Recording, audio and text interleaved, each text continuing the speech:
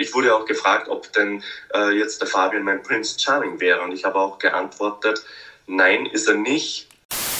Ein neues Video, meine Lieben, und ich dachte, wir fangen dieses Jahr bei Prince Charming so direkt von Anfang an richtig an und deswegen habe ich mir einen Kandidaten ausgesucht, bei dem ich so dachte, mit dem möchte ich unbedingt mal sprechen. Das ist Thomas. Ich bin sehr gespannt, ja, was jetzt hier rauskommen wird schon nach der ersten Folge. Ich habe schon so ein paar Themen in meinem Kopf, wo ich mir so denke, da werde ich ihn gleich noch drauf ansprechen. Er hat noch keine Ahnung, deswegen lehnt euch schon mal zurück. Es dürfte auf jeden Fall sehr interessant und spannend werden.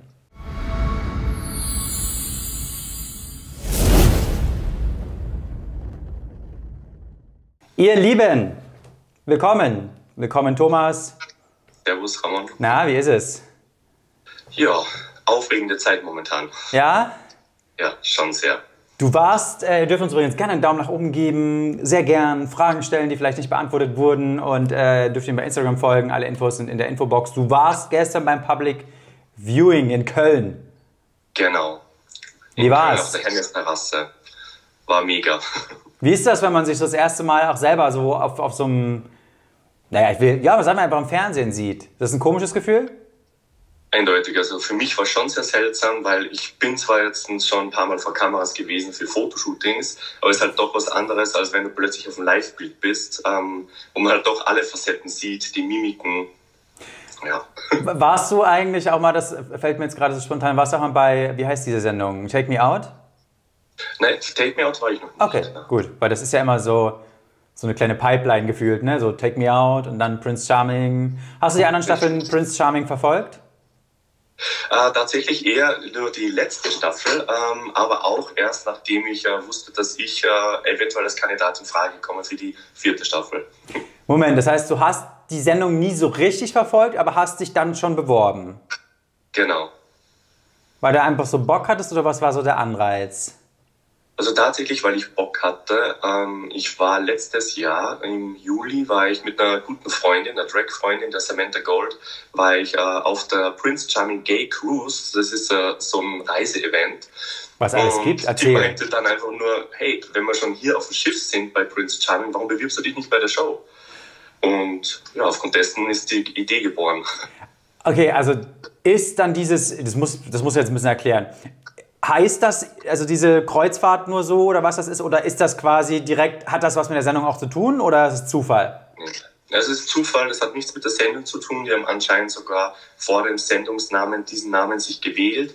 Und ja, das ist halt einfach nur ein kleines Boutique-Kreuzfahrtschiff gewesen mit zwölf Kabinen.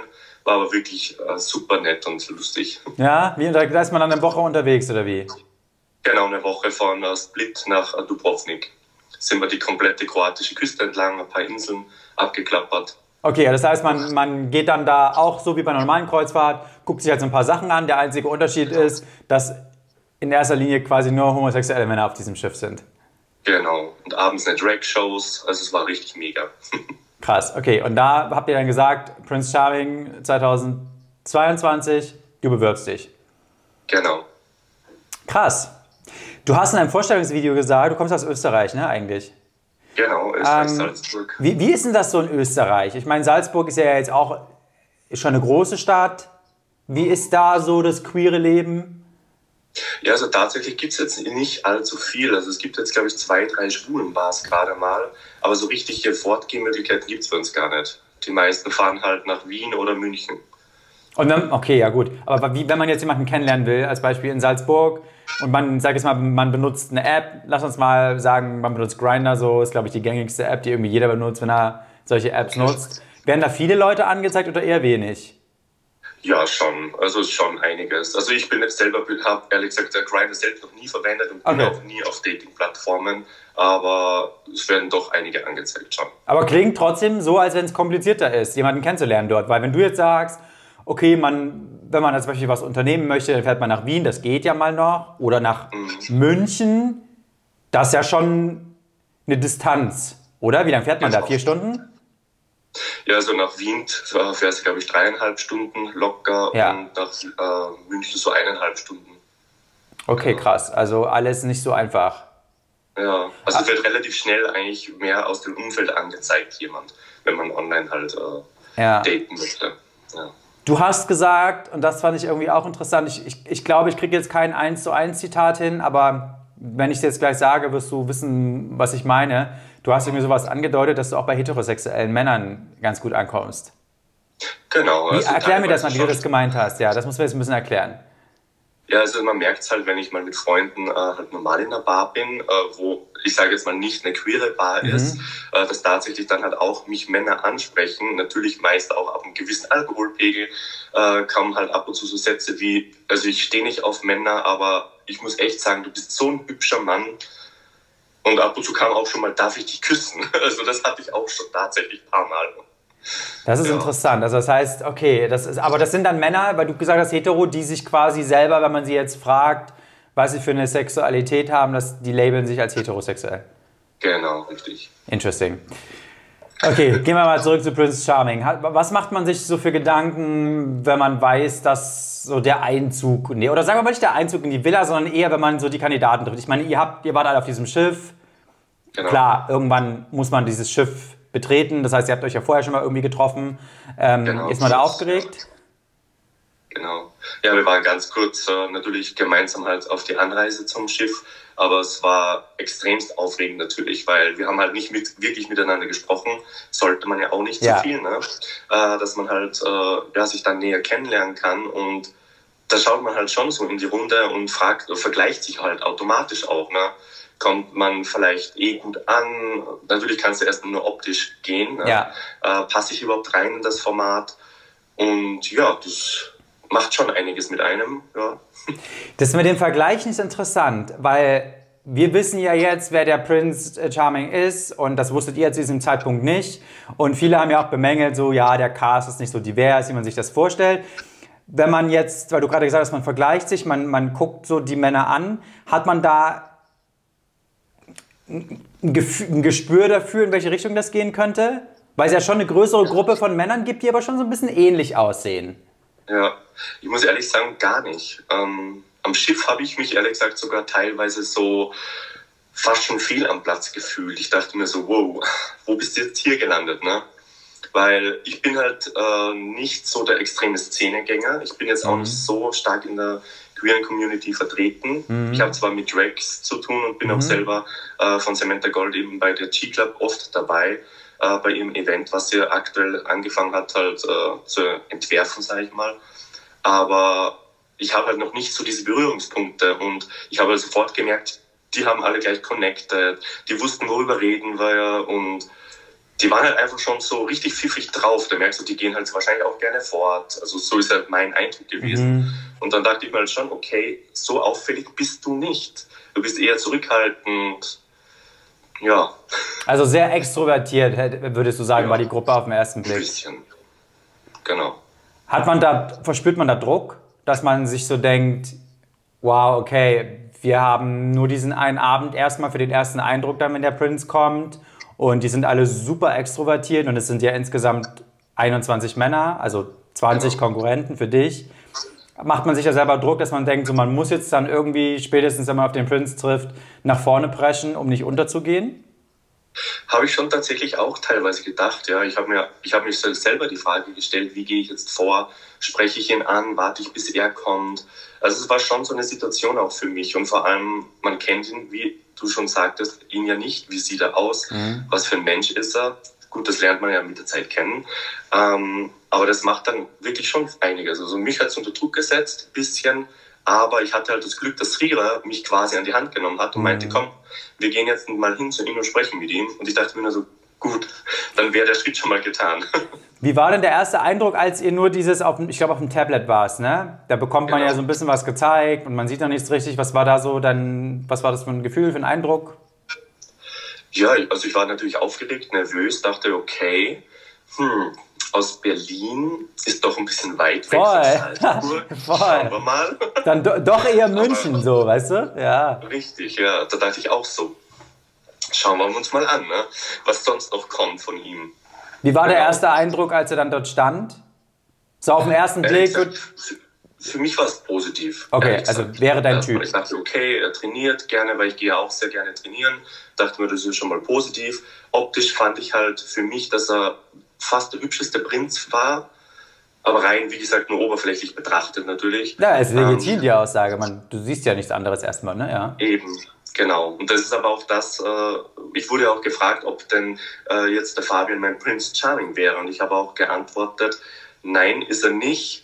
Oh. Aber es könnte ja noch werden. Kommt halt auf den Charakter drauf an, was man kennenlernt. Ne? Okay, aber was heißt, ist er nicht?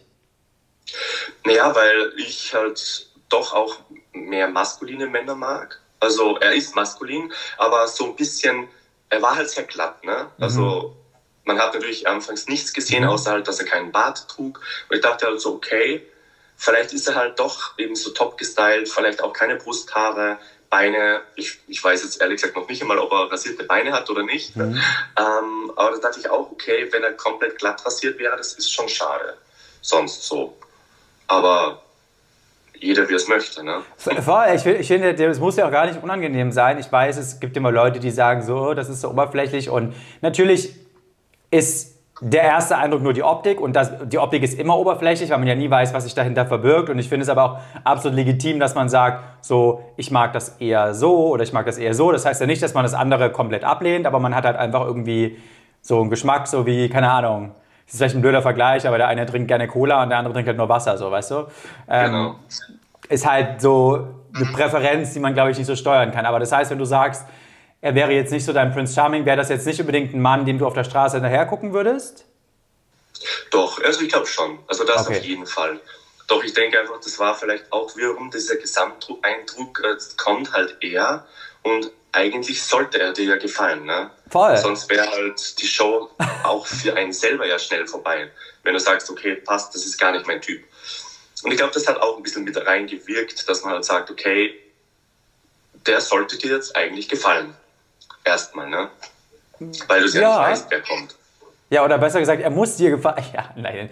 Ja, in dem Fall, wenn du, wenn du in der Show sein möchtest, ja, müsste er dir gefallen, natürlich. Ja, aber das ist halt auch immer so, ganz ehrlich, das ist ja bei jedem Format so. Ich denke mir auch mal so, also ja, er ist ein attraktiver Mann, natürlich, trotzdem ist es auch immer alles so Geschmackssache, aber es ist schon sehr unrealistisch, dass 21 Männer ihn jetzt absolut als Traummann finden, so, weißt du?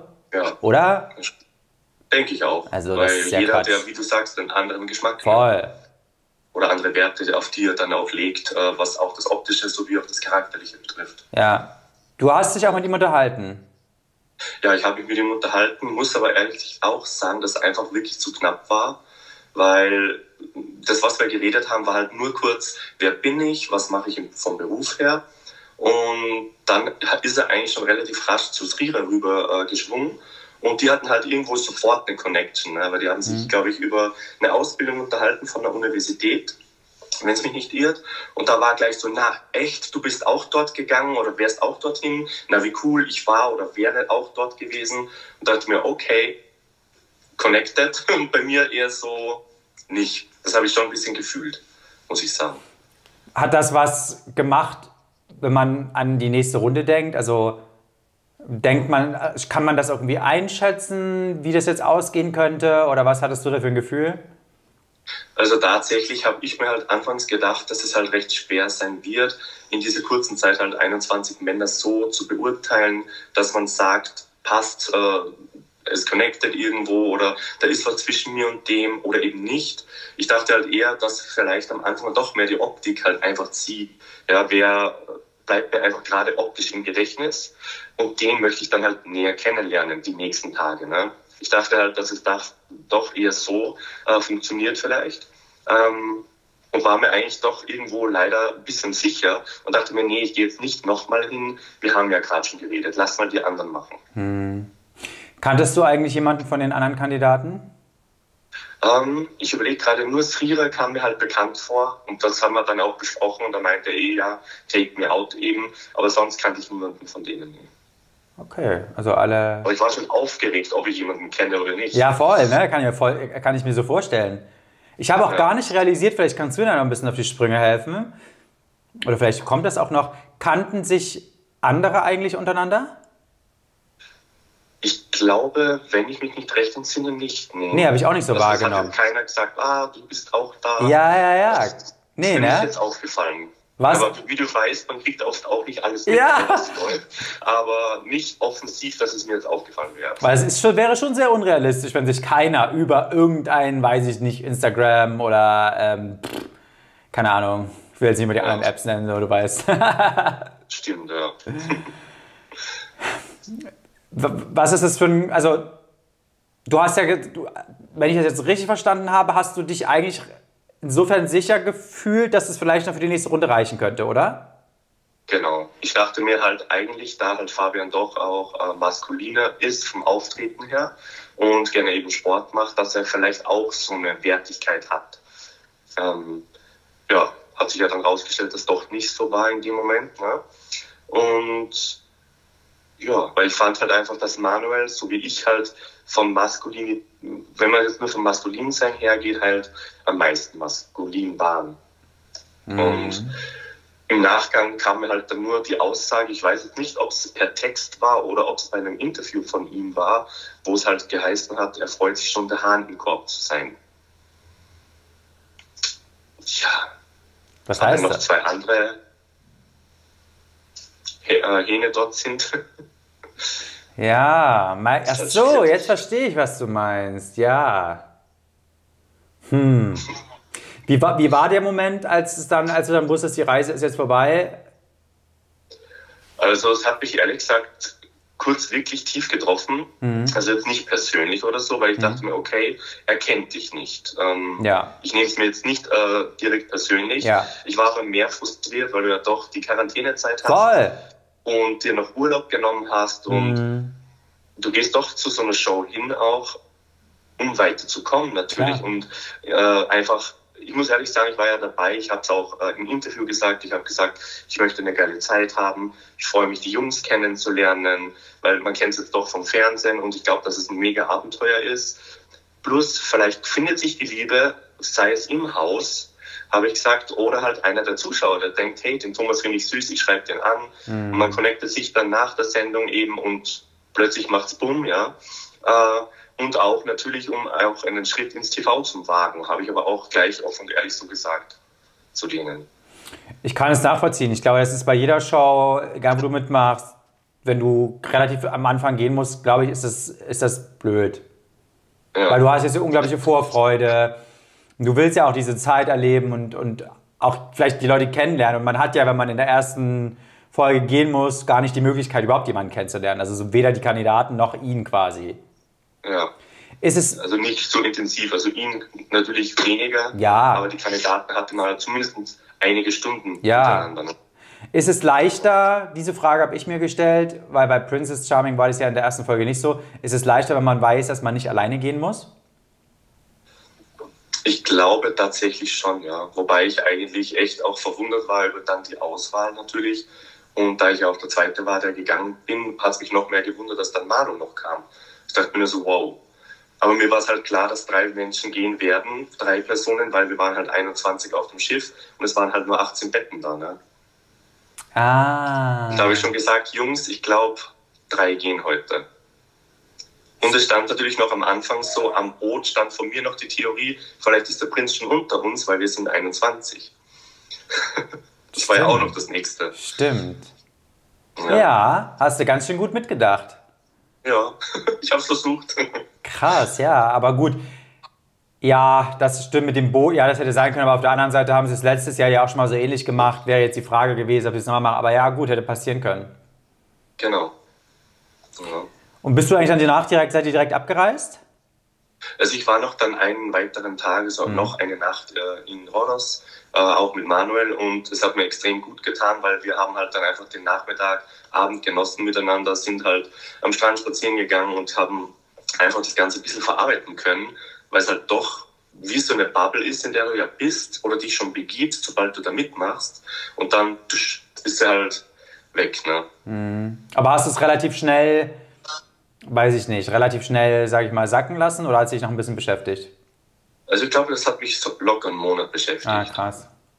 Gerade natürlich am Anfang, weil du kommst zurück, natürlich die engsten Vertrauten wissen, mm. wo du bist, was du machst mm. und sind halt schockiert, warum bist du jetzt schon online, warum geht meine Nachricht durch, was ist passiert und das ist halt dann schon nochmal hart, weil äh, ja niemand damit rechnet ne? und mm. man ja auch von seinen Freunden und Familie halt ein anderes Feedback bekommt und die dann auch sagen, was ist da denn los? Gut, ich meine, irgendjemand muss es leider immer am Anfang treffen, ist aber egal in welcher Show, ich weiß, was du meinst. Freut man sich dann auf die Ausstrahlung oder eher nicht? Weil, weil, weißt du, irgendwann werden ja die Namen bekannt gegeben. So, und dann sehen das ja ganz viele Leute, die nicht wissen, wie weit du gekommen bist.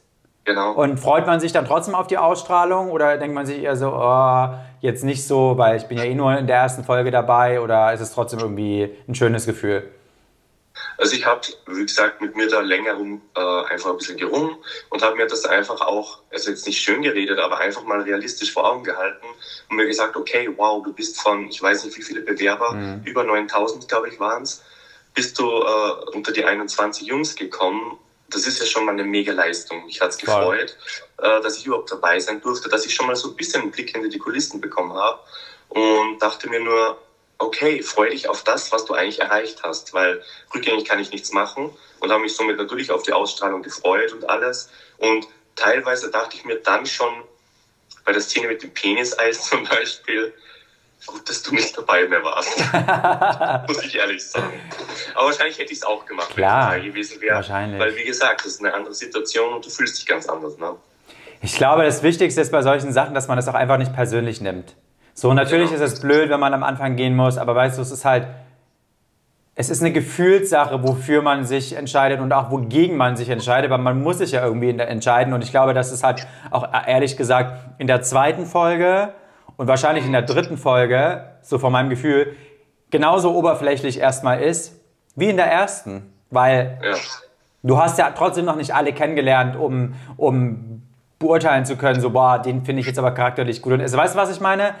Richtig. Deswegen ja. sage ich das jetzt auch nochmal einfach so, dass, weil du gesagt hast, ich kann nichts rückgängig machen, dass es, glaube ich, einfach ganz wichtig ist, dass es nichts mit dir zu tun hat und dass du trotzdem gut so bist, wie du bist, sondern. Auf jeden Fall. So, irgendjemand musste halt gehen, weißt du? Und es das heißt ja genau. auch nicht, dass, selbst, weißt du, so, selbst derjenige, und das ist ja bei allen Shows so, der vielleicht auf Platz 1 kommt, das heißt ja auch nicht, dass dann alles Happy Life losgeht, weißt du? Eben. Wissen wir bei anderen Shows, ich meine, es gibt ja nun schon unzählige Staffeln von allen möglichen Dating-Shows und oft ist ja auch danach dann der Ofen aus. Weil, wenn man dann wieder aus der Bubble draußen ist und jeder so seinen Alltag hat, man dann vielleicht merkt, okay, in der Blase hat es gepasst, mhm. aber darüber hinaus nicht. Richtig, das stimmt leider, ja. Aber das glaube ich auch, dass es dann so im Endeffekt ist, egal wann du gehst. Ne? Voll. Und wie du sagst, mir war auch bewusst, okay, bist halt jetzt einer der Ersten. Mhm. Natürlich, wie gesagt, innerlich vorbereitet war man halt nicht. Ne? Man hat sich ja, ne, man steht gerade so im Startloch mhm. und denkt sich so, jetzt geht's los und dann ist halt vorbei. Ist natürlich, wie gesagt, erstmal schlimm. Aber ich glaube auch die zweiten, die gegangen sind, am zweiten Tag äh, wird es auch nicht besser gegangen nee, sein. Eben auch, glaube ich, der Zweitplatzierte wird genauso sagen. ja, für den, das ist auch blöd so, ne? Also Platz 2 ist auch so.